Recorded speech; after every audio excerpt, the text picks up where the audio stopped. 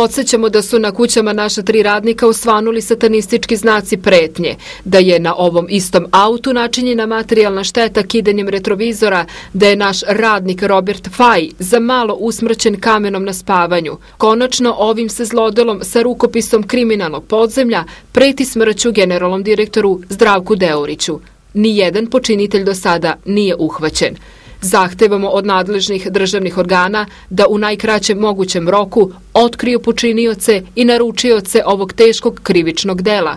Ukoliko se to ne desi, da će se prečutna saglasnost da se može nekažnjeno ugrožavati bezbednost građana, njihov život i imovina, sejati strah i panika. Država mora pokazati odlučnost u borbi protiv svih oblika kriminala i posebno ovakvih terorističkih akata, jer niko ne sme biti jači od države, navodi se u saopštenju odbora direktora fabrike lekova Jugoremedija A.D. Zrenjanin.